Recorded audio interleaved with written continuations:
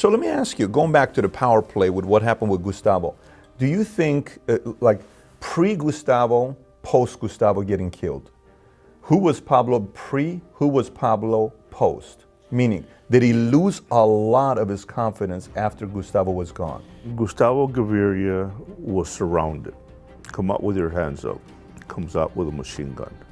We wanted him alive because we wanted him in the United States because of all the this guy had the connections all over the world, but he chose to come out uh, fighting. It was difficult for Pablo to get, but you know, he got organized. But one thing, like, and he never forgave for the killing of his cousin. Remember, they were brothers. They were more than brothers. They were always together.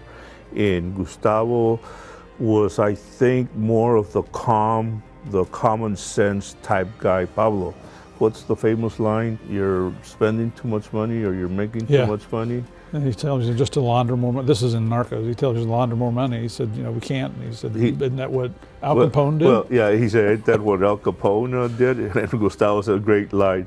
Al Capone never had this much money. money yeah. that is a great line, you know. But it was that type. Gustavo was always the common, the the grounding Pablo. Pablo, you know, calm down, calm down.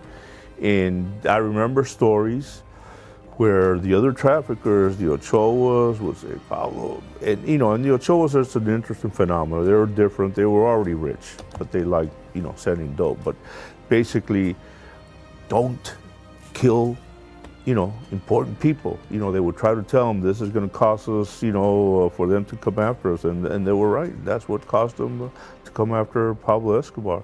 You know what? And you're talking about, you know, Pablo Escobar's ego, that power I remember, and this is wow, this is a great example. We took one of, during one of the raids, we took one of the cars, and he belonged to his sister. So we took the sis, the car, in the dashboard, and I have a copy of that note. It basically there was a note that says, "If you're thinking of stealing this car, do not. This is Pablo Escobar, and this car belongs to my sister."